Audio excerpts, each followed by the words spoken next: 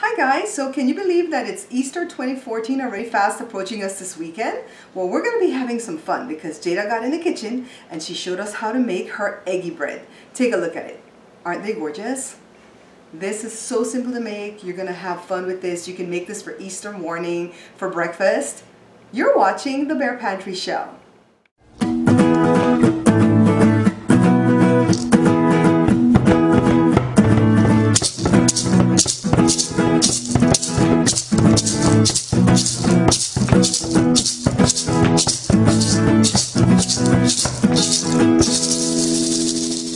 This is the first part of the recipe and we're going to be making the apple glaze. We're going to need a good nonstick skillet.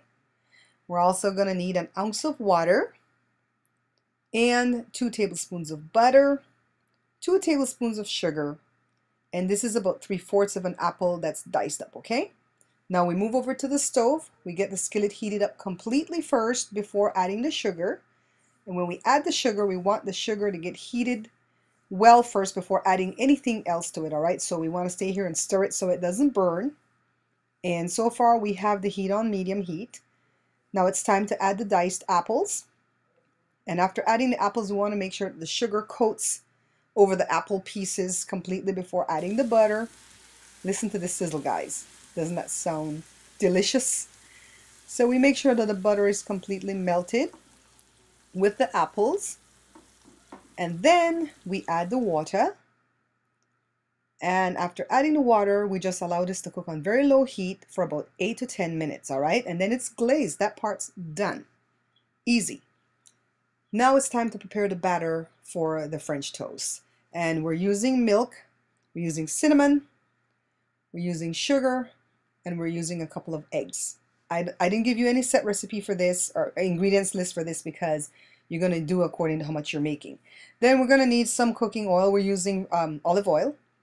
And we need to put that in a skillet first and get it hot before putting in the butter because that's what prevents the butter from burning or getting that brown color, okay? So after your pot's heated up, you want to go ahead and take your piece of stale bread, we're using sourdough bread today, and just kind of douse it completely over and over and over in the bowl to make sure every part of the bread gets moist and then you shake off that excess batter completely really shake it off well okay? Then now all to do is to drop it in a skillet and allow it to cook for about a minute to a minute and a half on both sides.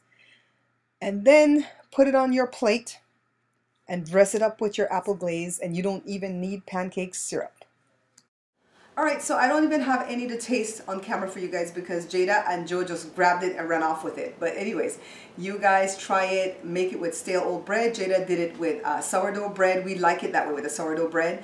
And the apple glaze is so wonderful. Jada is so good at glazing things. I, I mean, I'm, I'm going to put her in the kitchen every time when it's time to melt chocolate or glaze stuff, alright? If you guys like the video, hit like below for me.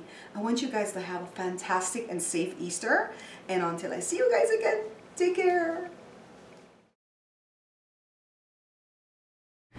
Please check out my review channel right here on YouTube. It's called Bare Pantry Talk. Also, check out my vlog channel. It's called Babs Bear Talk.